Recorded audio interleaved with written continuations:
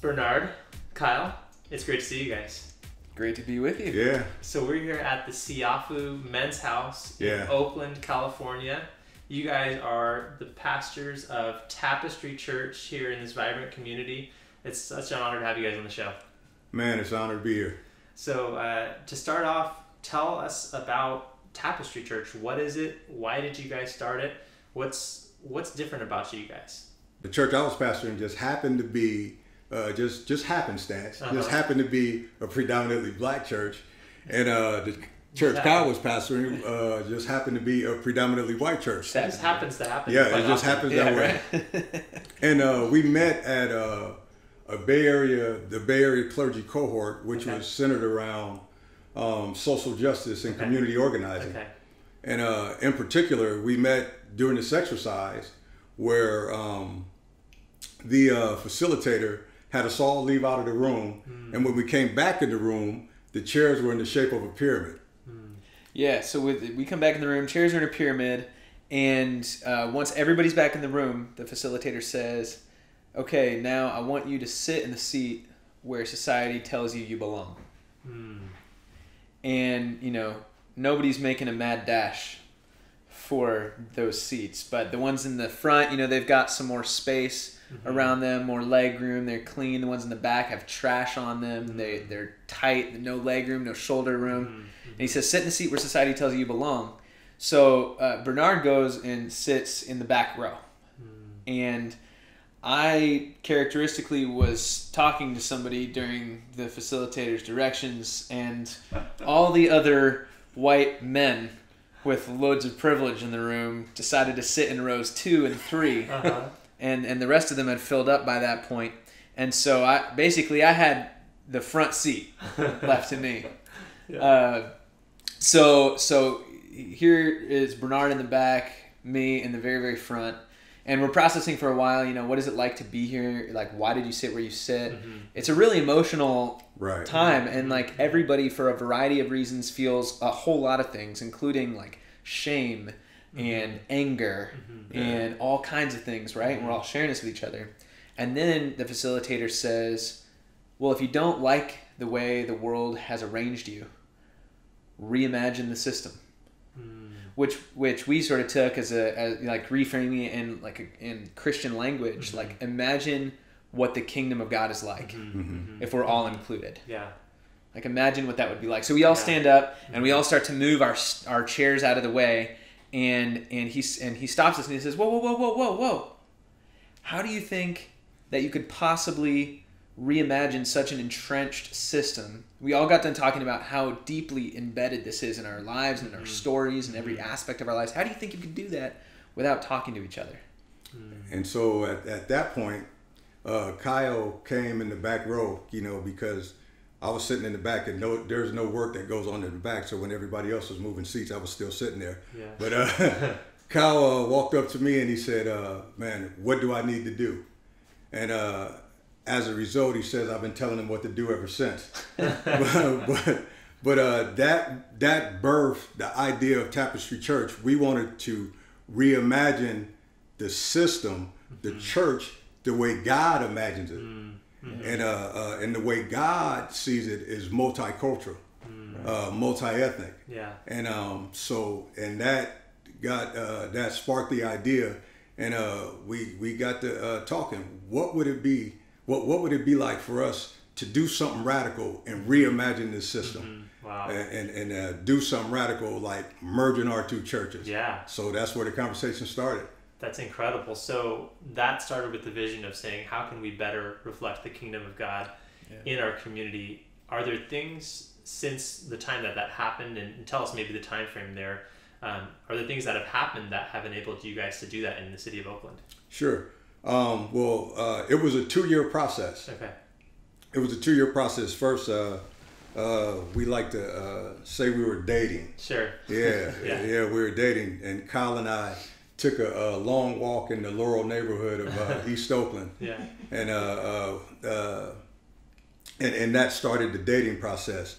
And uh, on that day, I remember specifically, we committed to each other that if we were going to do this, Yeah. We would have to be better brothers than we were pastors. Yeah. Yeah. and um, so so, good. yeah, and so so that meant um, uh, uh, whatever whatever happens, we'll be able to work through Yeah. it. Yeah. Yeah. And uh, and if we even if we can't, we will always get up from the table and still be brothers. Yeah. And um, so we committed to be better brothers than we are pastors, and that means, in essence, that our brotherhood trumps my blackness, Yeah. And uh, uh, uh, our brotherhood trumps his whiteness. Yeah. So we we will always be brothers, no matter what. Yeah. Yeah. That's really powerful. Yeah, that was a, that was a really big moment for us just to just to be able to say outright like we would rather lose our ministry than lose our relationship. hmm Like that and it has to be that Yeah. or else this isn't going to work because we are the like the most radically different people. Yeah. Like background wise, uh, personality wise, Yeah. like Yeah. ev- like so many ways. Yeah. Uh, and we thought we this just has to be like a radical commitment, Yeah. like a covenant, Right, You know, right. like it just isn't going to break. yeah. Right. Um, and then and so we got our churches, you know, involved at that point and said, hey, you know, what do you guys think? Should we do this? Both churches were stoked about it. Yeah. They both were like, okay, yeah, we're in. Like to a surprising Yeah. Degree. That's amazing. I think that there was a standing ovation at the Way Church Yeah. when you when you When I you announced it, announced yeah. it or brought it forward. Yeah. Um, you know, we had a little bit of a different way, so we all had like a community meeting and like Yeah. discussed it. Yeah. But everybody was super positive. So we started this two year journey Yeah. where we where we were saying, okay, we need to just we didn't know it was gonna be two years at the time, but we Mhm. knew we needed to set up regular rhythms of just being in each other's lives Yeah. as Wow. churches in Mhm. order to grow into one church. Yeah. So you Uh, started a, a regular rhythm of getting to be in each other's lives and community with each other over that dating process. Your churches now Yeah. needed to date. Right. That's right. Yeah. That's right. Yep. So we so we started uh, meeting together every eight weeks for worship, Okay. um, and we would switch off Okay. at each other. So every Yeah. eight weeks we'd shut down Oakland Communion and move over to the Way and go worship with them. Mhm. And every eight weeks the Way would shut down worship and come worship with us. Yeah. And we did that for about a year, Okay. and we got to what we now have learned to describe as uh, base camp. Yep. Mm. You know, like when you're climbing Everest, Mhm. Yeah. you got to take like three weeks Yeah. and just be hmm where you are so that you can acclimatize. Yeah. And we didn't really realize that that's what we were doing Mm. but we had gotten to a point where we had we had pretty much acclimatized Yeah. and then charlottesville happened Right. um, so bernard called me the morning that all of the chaos started erupting in charlottesville that saturday morning and he said man there has got to be a sustained communal response Mm-hmm. from the church Mhm. that is more than just a tweet or a Right, facebook post right. saying this is wrong Right. like there's got to be something that we do and we've been sitting at base camp hmm for too long we need to kick this into high gear and Yeah. really unify these churches Wow. and send a message that peace the peace that we're all longing for really is possible Yeah. That's that's really powerful. Yeah. Were you gonna say something? No. So uh, after that, we uh, kicked our meetings up to every four weeks. okay. And um, then we uh, we went through um, this uh, eight week devotional, um, which involves some journaling called multi ethnic conversations. Okay. Yeah. North Deymaz. Yes. Yeah. Yep. And um, um, and we would uh, journal during the week, and we would come in on Sundays. Um, both communities were going through this at the same time. We bought it for everybody That's awesome. in, in the church, Yeah. and uh, we would journal during the week, and we would come in on Sundays, and we wouldn't even preach, but we would talk about what Wow. we journaled during the week, hmm and that opened the door for some much needed uh, uh, conversations, and it g- gave us the chance to disciple some folks through some stuff. Yeah, right. Sometimes we look at, you know, the end goal as the be all end all, but a lot of it's about the process and about Yeah. the sanctification, about the growth that happens in in that journey. You know, it's funny that you use the analogy of you know a dating process. When my wife and I were getting to know each other, it was like, you know, we we met on March first in two thousand seven, and we started dating in March first, two thousand eight. And that year long, like me being the the proactive, persistent guy, like I wanted that to be a much shorter window. uh-huh And my wife was, you know, taking her time. But during that time, I grew in the patience that I needed to grow in. yeah She grew in the communication skills that she needed to grow in. Hmm. And those have really sustained us through now almost 10 years of marriage because we had that foundation of friendship, just like you guys mentioned, to be able to sustain when things come your way. Yeah. You know where you came from, you know your foundation, Yeah. and you can move forward with a position of strength. Yeah, yeah, that's really well said. I mean, that for us, the things that we needed to grow in were were um, a con- confidence that will be accepted and just to be ourselves, Mm-hmm. and willingness to uh, exist in discomfort. Yeah, right. Like for Yeah. so those conversations, those eight weeks that we shared with uh, with uh, multi ethnic conversations journaling, Mm-hmm. no matter what the subject was, just about every single week, the same things came up for both churches. Like different things Mm-hmm. Yeah. for each church, but the same Yeah. thing every week, Mhm. right? Mhm. So for Oakland Communion, for the church that I had planted, it was discomfort. Mm. It's like, well, I come, you know, the reason I come here is because I like the way it is. I Right. like the music. I like the style of preaching. I Right. like the way we are, you know, we just hang out and relaxed. And I like the people and the way that I, I just kind of get Right. the people here. Right. And it's all going to change, and that's all going to be really uncomfortable. Yeah. And we're not going to Yeah, necessarily like seriously. like the music every week, or we're Mhm. not necessarily going to like.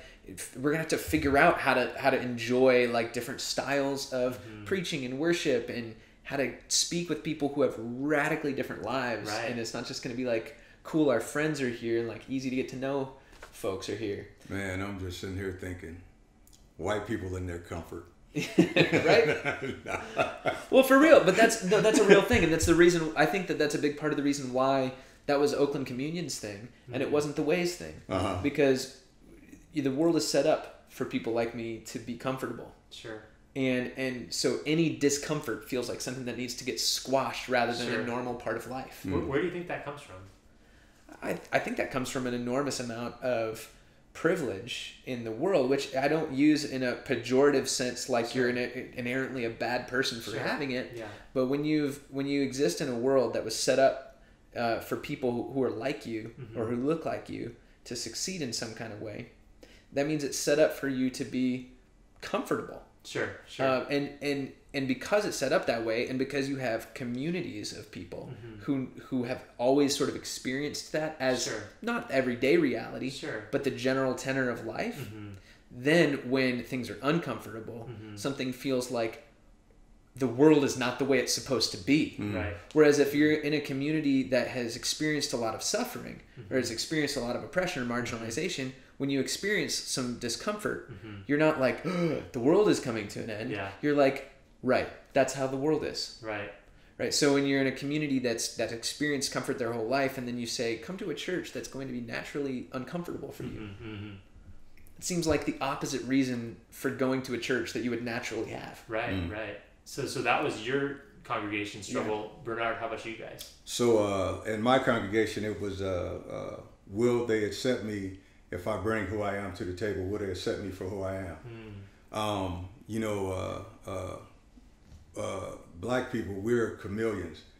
Um, we uh, uh, uh, change to uh, and we adapt to situations.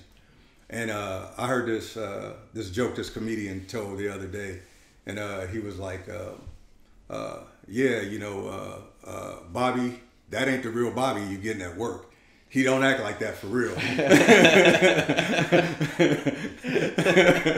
I, I, I had a, uh, a friend of mine who is black and he talked about like what number of of him people were going to get. He's like, when I show up to church, I'm at about maybe a two out of ten. He's like, wait till Wow. you see me other places, I might be like, you know, more of like a seven or eight. Right. If you really know me, you might get a ten out of ten. Right. Yeah. Wow. And Wow. and and that's and so and it's so like we're gonna be with them all the time. So naturally, who we are is gonna come out. Right. And so when it comes out, will they accept me? Will they, will they still Yeah. think I'm cool Yeah. when all that blackness comes out? Yeah. Yeah. Yeah. Yeah. Wow. So how have both of these things played out as your churches have merged, as the the fabric has become intertwined? That's a good question. Yeah. I think it's It's all probably been totally neat, no messy at all. Oh Like, yeah, yeah. No, it's just we snapped our fingers. We went through the eight-week journal, and then everybody was like, yeah, it "Good." works like magic. Yeah, yeah. No, sorry, Mark Deymaz. Uh, you know, the journal was a great starting spot, but it didn't solve everything. I mean, he knows that, right? Yeah. Right. But uh, no, I mean, I, th- I think that truthfully, that probably is a different answer for every person. Right. Mm-hmm. Um, but sort of the macro scale, Um, well, for one thing, we are about the same size as we were a year ago when we started, Mhm. but we're almost 80% different Yes. people than when we started. Mhm. So that that just means that uh, while people leave for all kinds of different reasons, Mhm. That's a pretty high rate of Right. turnover, Mhm. Right. um, and higher than either of our churches had experienced before that. Right. Um, so there's a sense in which you know you can get ready for something intellectually, Mhm. even emotionally, Yeah. and then you experience it day in and day out, Mhm. and you start going, "Ooh, Yeah. Yeah. I, I don't- man, I, I didn't sign up for this. man, I'm pretty uncomfortable. Right. Right. Man, I don't know if I feel totally accepted." Right. Um, so so we have experienced a lot of turnover. Yeah. Um, but we've also experienced a ton of transformation Yeah. and Yeah. grace Yeah. given and received in people's lives. We've had to navigate more situations, uh, relational situations I in the last year than And- we had to. And and I think the people that are there now are all in. Yeah. Yeah. Yeah. I, I would say they're all Yeah. in. They're they're up for the hard work. Uh, they're they're up for the challenge. Yeah. I, I, I would say they're all in. Yeah. Y- It's a hard church to be in and just coast. Yeah. Yeah. hmm Because just in your everyday encounters and relationships, Right. you you're gonna have to put in some work. And one of the things we said from the beginning was like if we don't become more like Jesus, if we don't grow in the fruit of the spirit, Yeah. this is gonna be a failed experiment. Right. Yeah. And and that's what was exciting to us about it. Right. It's like we would actually have to grow Yeah. to be a part of church, which Wow. seems like something you know You, you would kind of expect for that to be normal for everybody, right? right, you would, Yeah. yeah. Yeah. Right. Wow.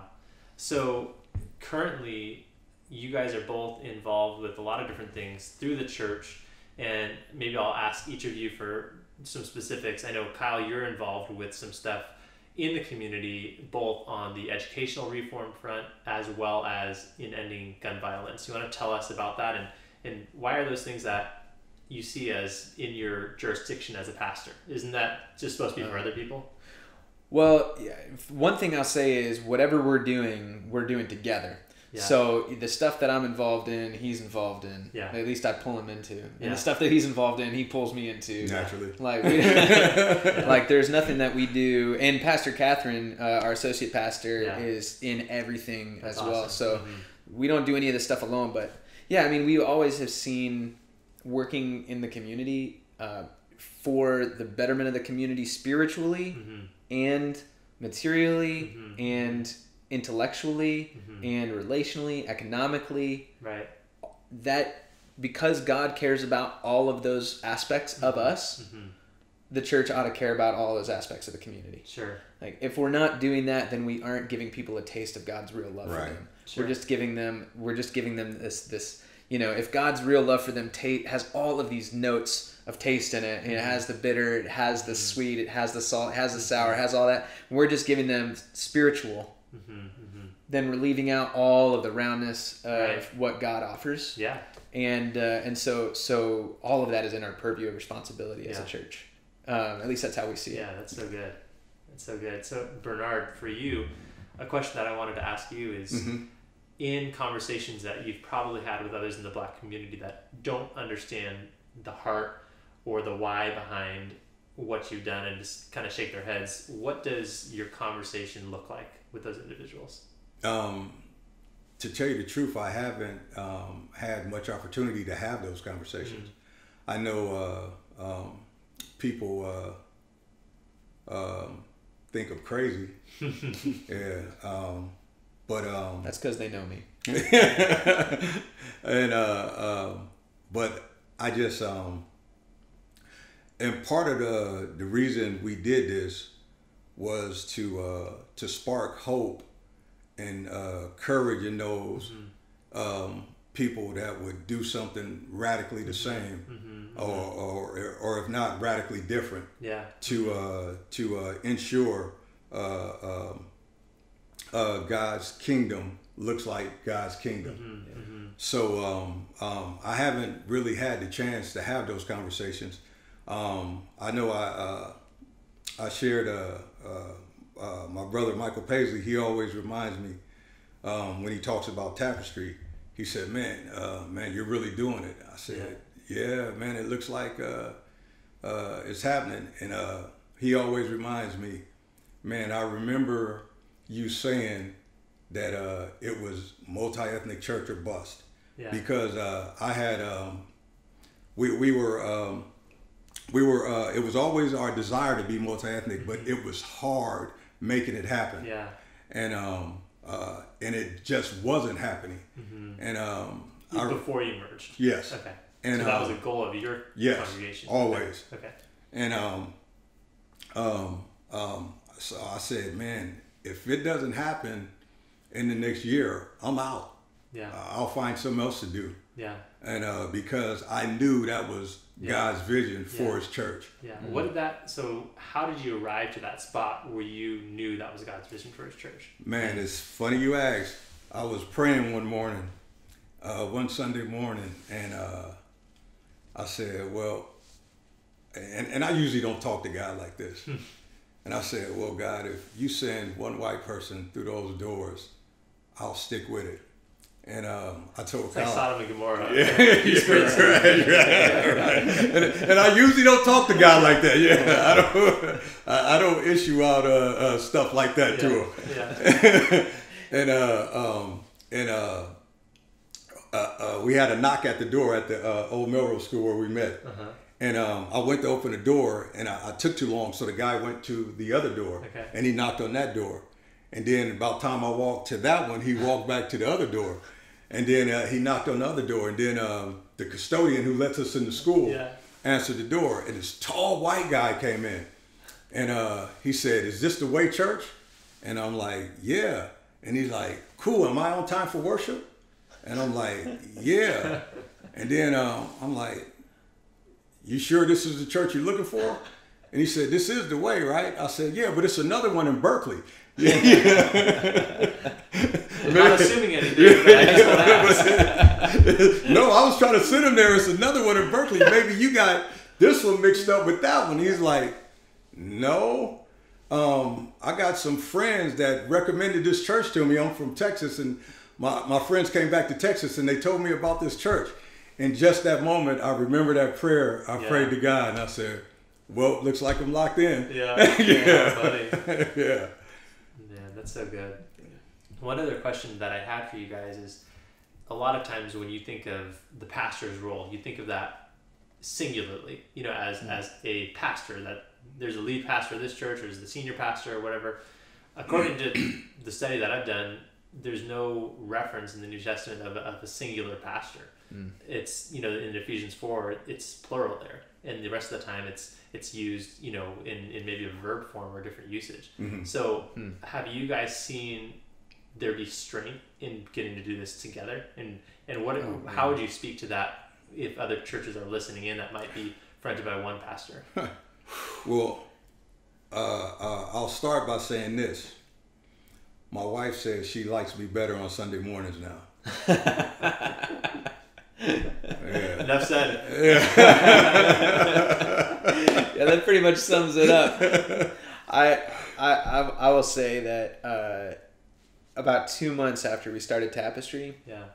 I started to realize, oh, I felt so guilty hmm. all the time hmm. when I was doing it on my own.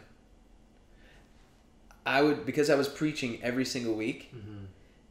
And church planting doesn't necessarily allow you to spend you know a good twenty hours on a Right. sermon every right, week, Right, right. uh, like they taught you in seminary. You know, Yeah, yeah. uh, as great as that would be, uh, you know, every time I'd be doing something else Yeah. that would feel like oh I, I have to do this I like I have to pay Yeah. the rent and like f- work that through our books and I Yeah. Mm-hmm. have to do all this other you know that everything that goes with church planting I always have in the back of my mind like I should be working on that sermon I should be working on that sermon I didn't realize till we had been in it a couple of months and we were trading off Mm-hmm. weeks and Catherine was taking every fifth week and so basically we're preaching like two out of five weeks Yeah. realized like oh wow I was living with that in the back of my head Yeah. all the time while I was doing Wow. everything else. Yeah. And now I can just do the work of the I can just be a pastor Yeah. Much more freely Yeah. in all the other stuff that I'm doing. Not to mention like come back to preaching feeling like super excited to do it Yeah. because now I've been sitting on what I've been sitting on for the last Mhm. two weeks or Yeah. three weeks and like pumped about sharing it. Yeah. Um, that's been amazing, and just the ability to like reach out to each other when we're like, Mhm. hey, I'm actually feeling like like I'm this close to burning out, Yeah. and have the other person say, get out of here. Yeah. Like, what are you still doing here? Yeah. We've got this. yeah. Like, there are two more of us. Right. Hey, why are you still here? You Yeah. know, uh, like the, Pastor Bernard is really good about that, and uh, and that's been a real big gift to me. Wow. I, it's hard to like even imagine going back to doing it Yeah. Oh, on yeah. our own. Oh no. That's No. to say nothing about. No. That's to say nothing about like all the ways that we're so different, the three Sure. of us, Mhm. and Mhm. add to each other's gifts. Right. Like there's all that too, but like man, there's so much more than that. Yeah. Yeah. Wow. That's that's encouraging. So you guys are in a neighborhood that's about seventy percent Hispanic. Yeah.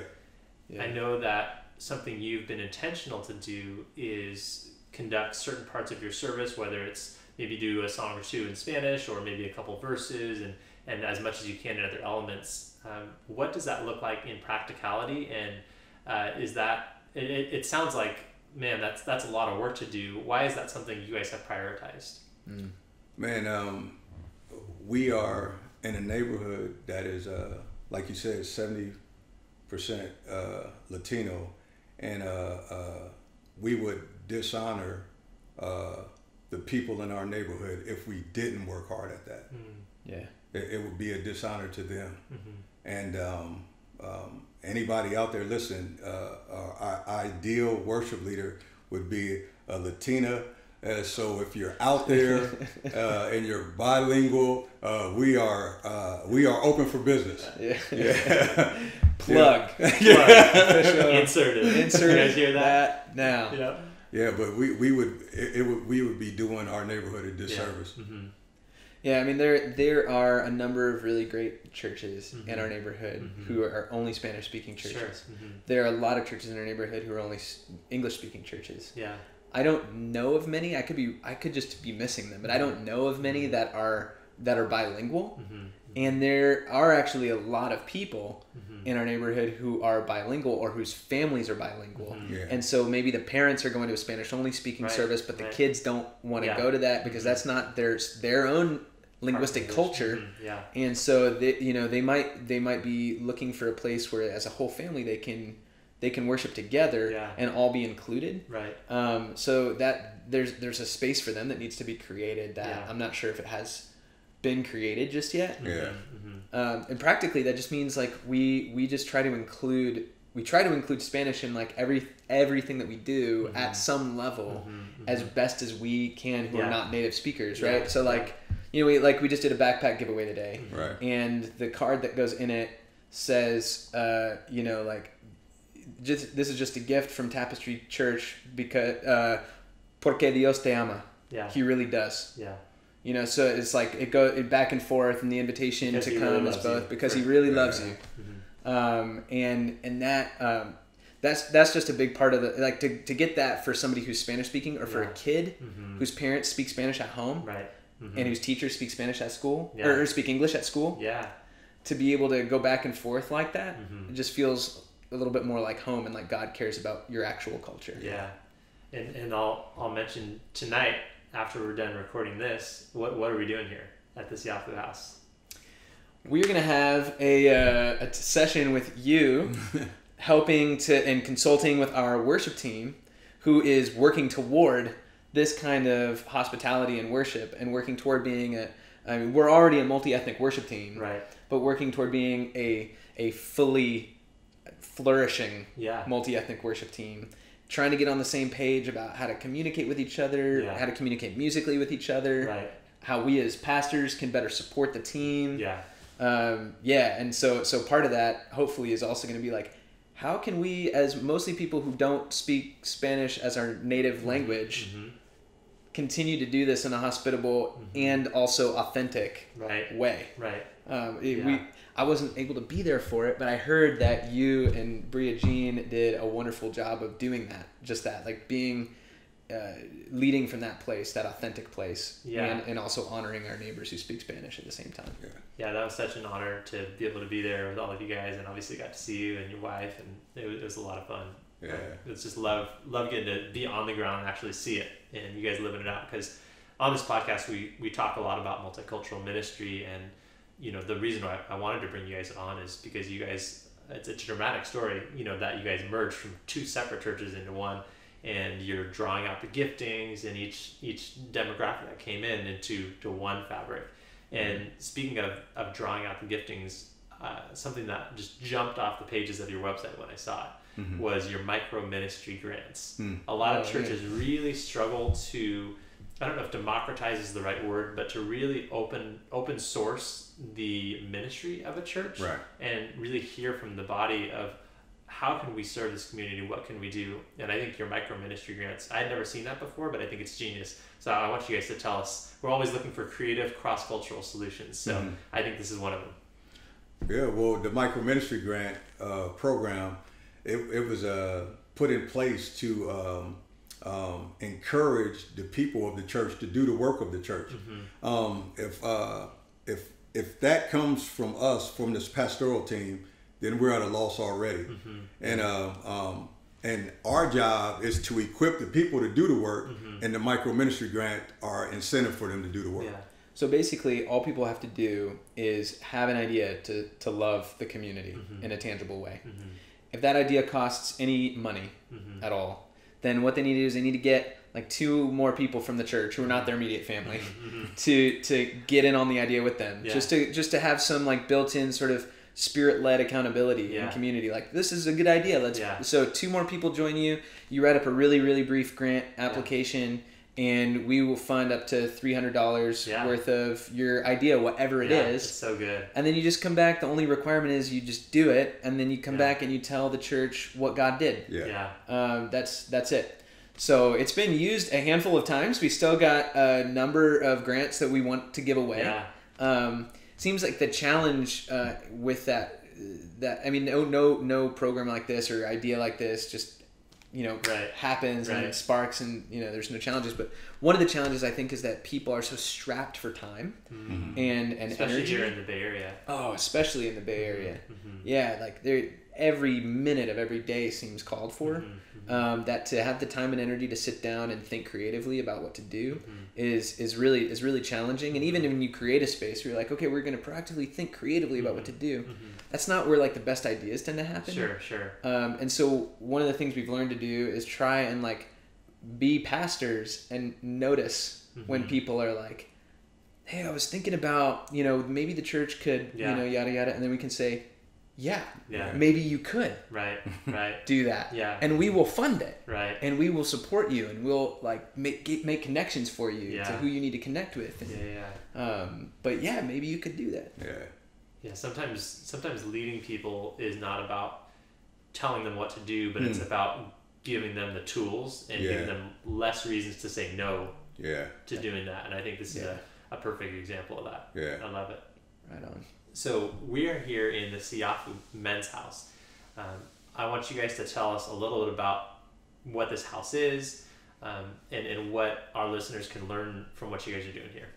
So uh, the Siafu Leadership Home, it is a, uh, a home for men that were recently incarcerated that are uh, um, going in or in ministry.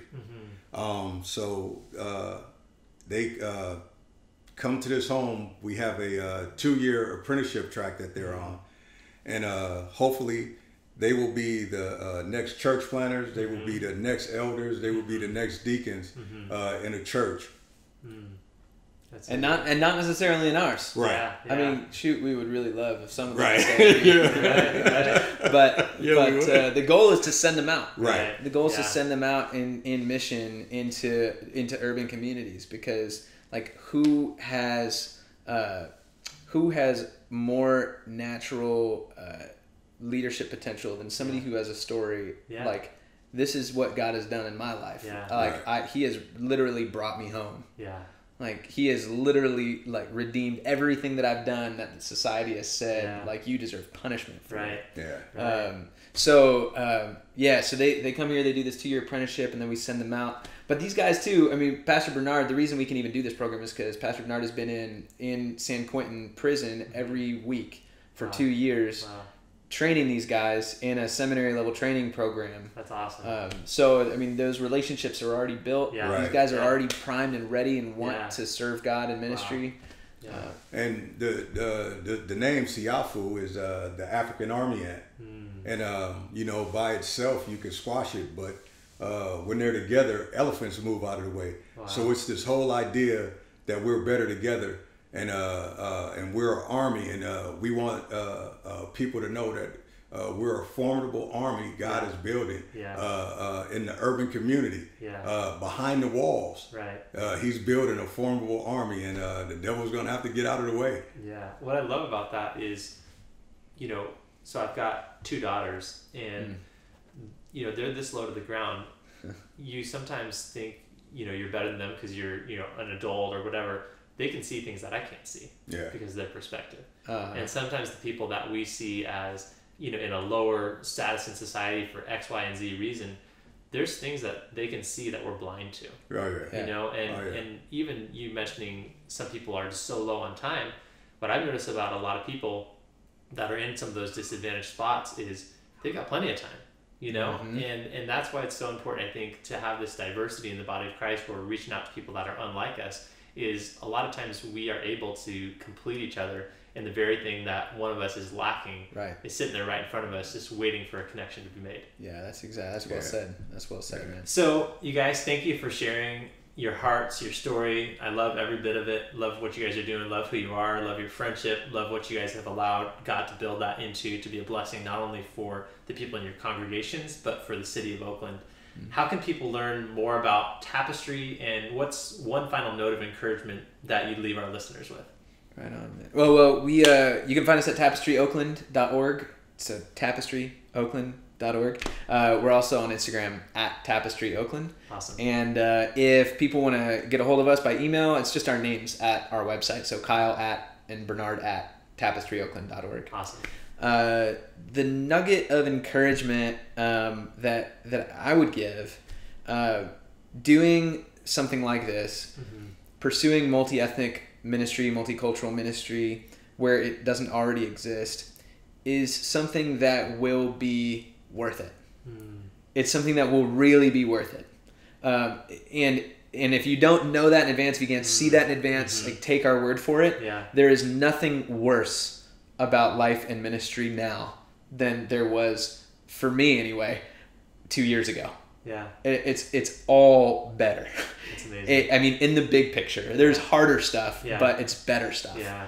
Um, and and it takes a little bit of courage Yeah. to jump into. We we realize that um, as we've been processing more over the last year, what is like the deep underpinnings of what it is that we're doing here. Mm-hmm. That so much of what Tapestry is and has become Mm-hmm. is uh, a community that is about overthrowing fear. Mm. Uh, overthrowing fear with the love of God to create the peace we all long for. Yeah, that's awesome. Uh, and so so jump into it, be courageous, take a risk. You don't know how worth it it is until you try. That's so good. That's amazing. And I would say uh, for anybody that is that wants to do something similar to what we did, or or something radically different with another person, Yeah. I would say uh, uh, you have to trust that person uh, like nothing else. Um, the reason this works is because we trust each other with each other's lives. And um, all the uh, books we read about merger, no one said anything about trust. Um, but I found out that trust was the uh, the the most uh, vital part of our relationship. Yeah. Yes. Wow, that's so good. Well, thank you guys for your courage and for, for stepping out. I can't wait for our listeners to hear your story and to learn from you guys. And um, I, I love learning from other people that have gone ahead. I love exposing our listeners to solutions, creative cross cultural solutions that are working that we can learn from. And uh, if I can if I can have somebody who's just graduating from seminary listen to this and avoid ten years of maybe doing it a way that he would have looked back and say, "Man, I wish I would have done this differently." Yeah. To me, that's a win. So thank you guys for for letting this be such a blessing to, to so many people, and I can't wait to see what God does next. Man, thanks for having us on. Yeah. And, and thank you for Praise Hands and all that you're doing in your ministry. It's super important work. You're really important for the world. So Oh, thanks, man. I appreciate that. Appreciate Yeah. you guys.